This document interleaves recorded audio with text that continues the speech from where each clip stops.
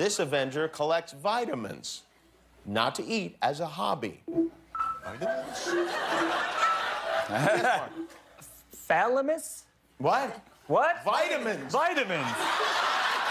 Scarlett, who do you think uh, collects vitamins? I only because she's probably the healthiest person in the room. But Danai, Danai. Mark, everybody, go ahead and reveal your who you think it was. Danai, My name is also. Danai, Danai.